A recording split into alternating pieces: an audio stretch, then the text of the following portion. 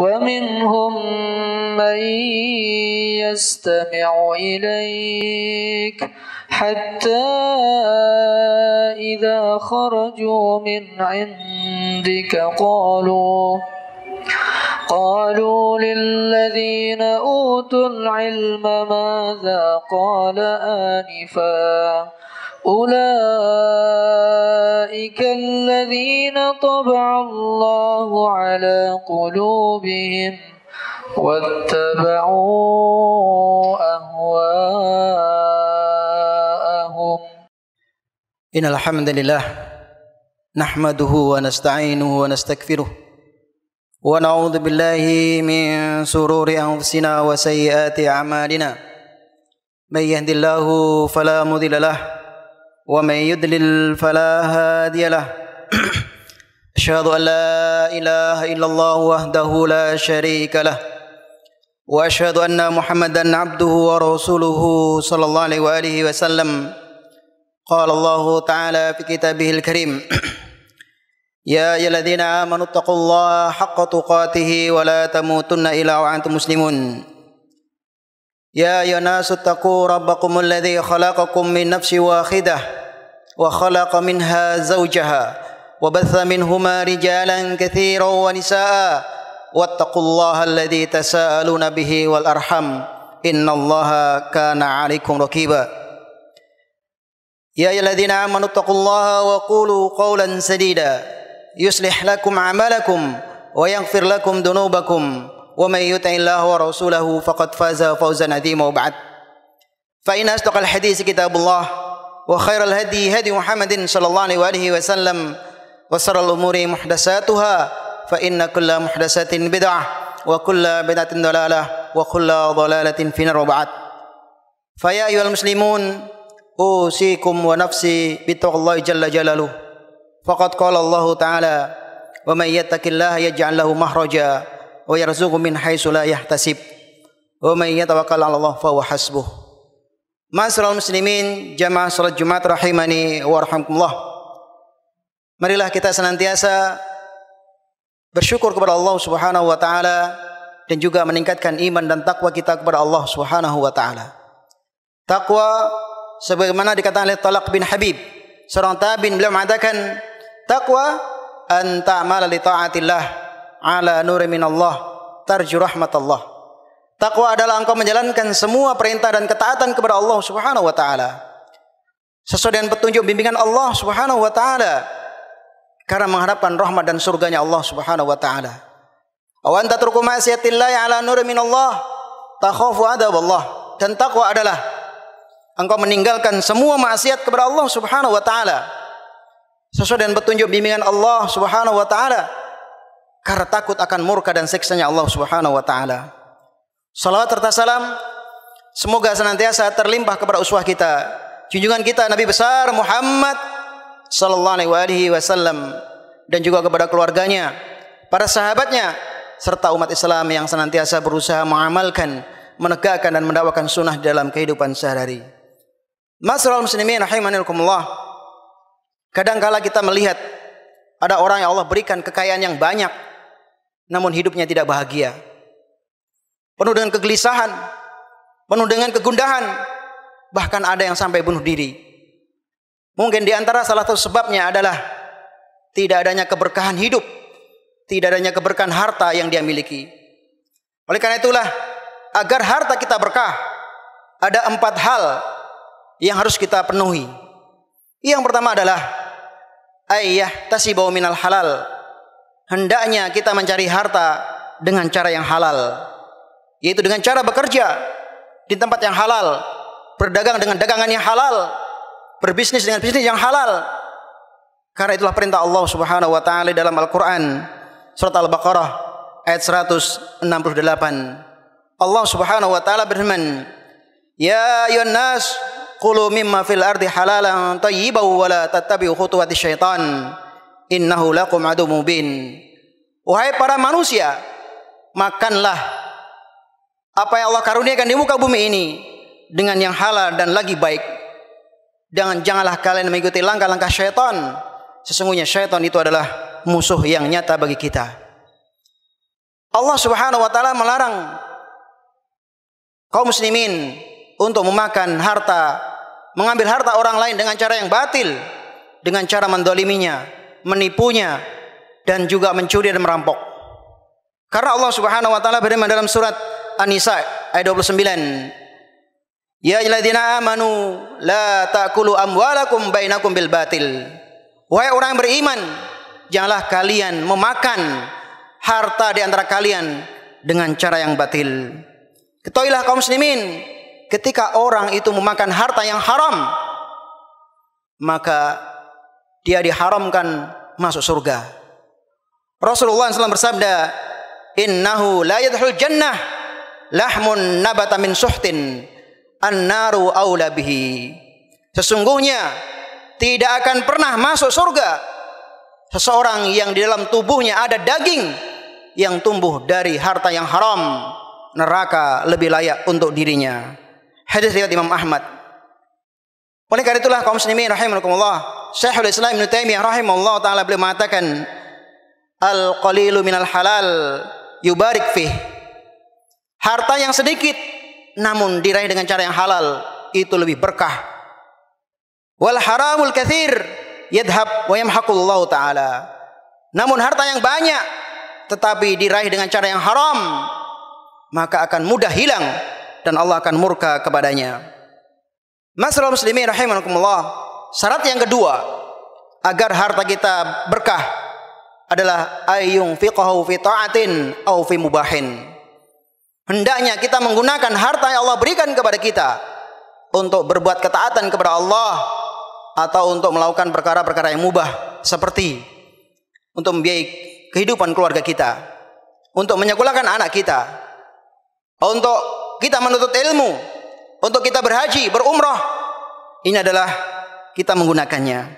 Barang siapa yang menggunakan harta dengan cara yang tidak halal, dengan cara yang tidak baik, berfoya-foya, maka sekali lagi Rasulullah mengancam dengan neraka. Sebagaimana hadis dari Haula Al-Ansariyah radhiyallahu an, belum mengatakan qala Rasulullah sallam, "Inna rajulan yatahawadu min malillah bi ghairi haqqin falahumun nar yaumal qiyamah." Sesungguhnya ada sekelompok laki-laki mereka menggunakan harta yang Allah karuniakan kepada mereka dengan cara yang tidak benar maka di hari kiamat neraka tempat tinggalnya. Hadis riwayat Imam Bukhari. Ingatlah kaum muslimin rahimakumullah. Ilmu kita umur kita jasad kita akan ditanya dengan satu pertanyaan. Namun harta kita akan ditanya dengan dua pertanyaan. Sebagaimana hadis dan dikatakan oleh Abu Barzah Al-Aslami radhiyallahu an. Qala Rasulullah la la tazalu qadam 'abdin yaumal qiyamah hatta yusanil arba. Tidaklah akan tergelincir kedua kaki anak Adam sampai ditanya tentang empat perkara.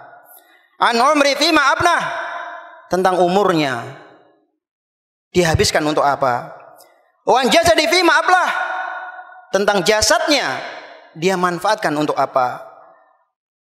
Wan wan mali min aina iktasaba wa mimma anfaqa. Dan yang ketiga tentang hartanya, dia ditanya dari mana dia peroleh dan digunakan untuk apa. Dan yang terakhir wan ilmi fi amila bihi tentang ilmunya apakah dia amalkan atau tidak. Hadis riwayat Imam Tirmidzi. Masalah muslimin rahimani Syarat yang ketiga agar harta kita berkah adalah al yazghalu an taatillah Jangan sampai kesibukan kita mencari harta, mencari dunia, kita lalai ibadah kepada Allah Subhanahu wa taala. Orang yang sibuk berlomba-lomba menumpuk harta, dia akan lalai dengan dua hal. Pertama, lalai ibadah kepada Allah dan yang kedua, lalai dari aturan Allah Subhanahu wa taala. Berapa banyak orang yang lalai ibadah kepada Allah ketika dengar azan, dia sibuk bekerja, Kalaupun istirahat, dia gunakan untuk merokok, makan, kemudian kembali bekerja. Tidak menunaikan sholat duhur, wala asar, wala maghrib, wala isya. Padahal dia sibuk mencari harta, mengejar harta, sedang kematian mengejar dirinya. Dan yang kedua lalai dari aturan Allah, Berapa banyak Allah karuniakan kepada seorang hamba pekerjaan yang baik, pekerjaan yang mapan, gaji besar. Namun lalai dari aturan Allah, dia korupsi. Dia berbisnis dengan menipu. Yang menjadi pejabat, menindas rakyat. Ini karena lalai dari aturan Allah Subhanahu wa taala. Masalah muslimin rahimakumullah, ingatlah alhaakumut takatsur. Bermegah-megahan telah melalaikan kalian. Hatta zurtumul maqabir sampai kalian nanti mati masuk ke diam liang kubur. Kalla saufa ta'lamun. Jangan demikian. Sungguh kalian akan mengetahuinya. Kemudian di ayat yang ke-6 Allah mengatakan, La tarawunnal jahim. Sungguh kalian akan melihat neraka jahim. Demikian khutbah singkat yang bisa saya sampaikan. Aku lu qawli hadha. Wa li wa lakum. Wa ilayhi muslimin min kulli dhanbin fastaghfiruh. Innahu huwal ghafurur rahim.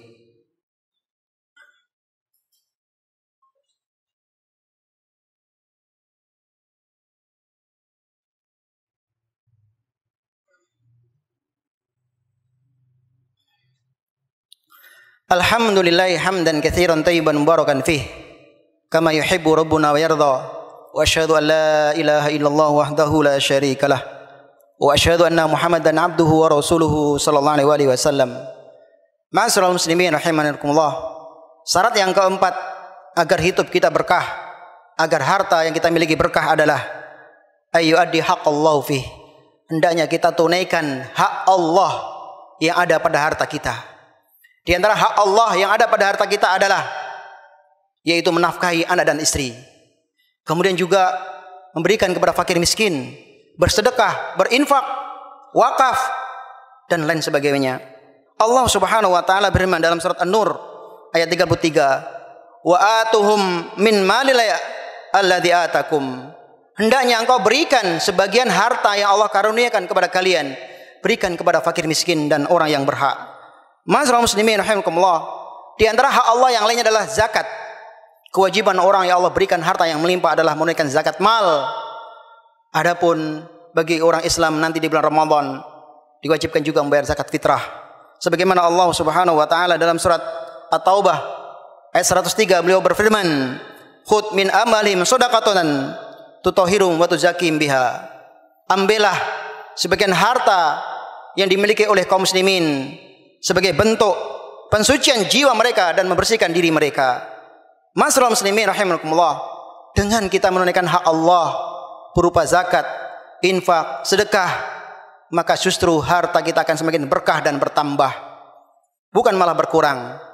Karena sungguhnya Rasulullah bersabda dalam hadis Muslim, "Manaqasat shadaqatun min malin" tidak akan berkurang harta yang disedekahkan.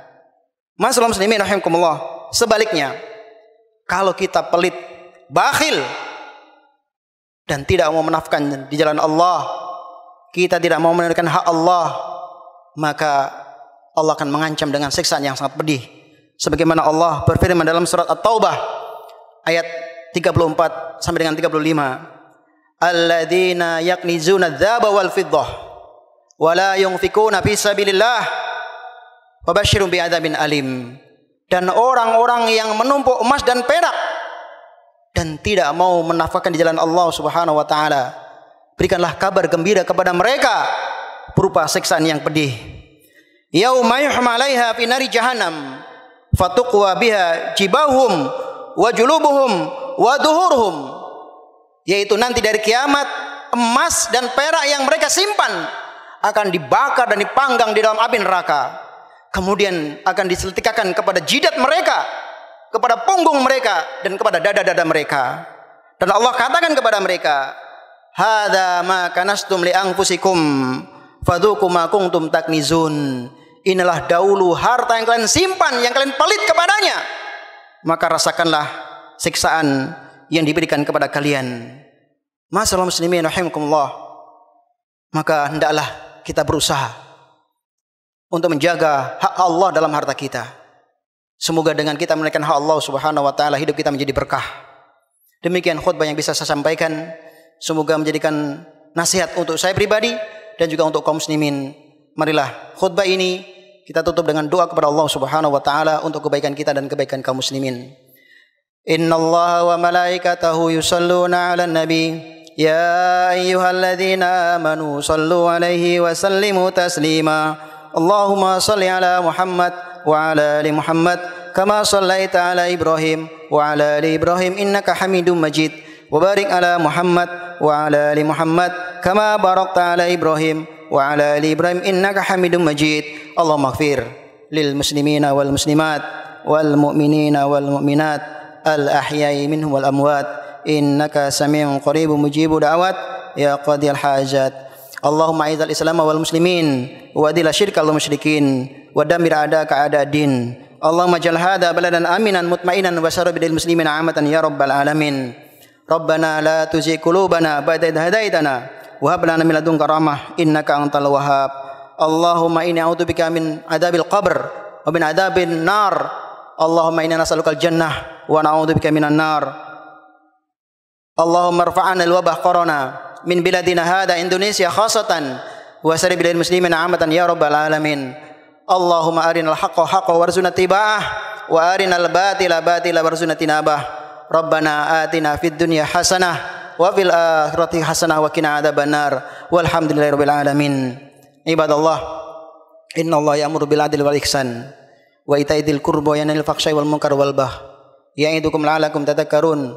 Fadkurullaha azimal jalila yadkurkum washkuruhu ala ni'amihi yazidkum. Waladhi akbar aqimis shalah. والذين اهتدوا زادهم هدى وآتاهم تقواهم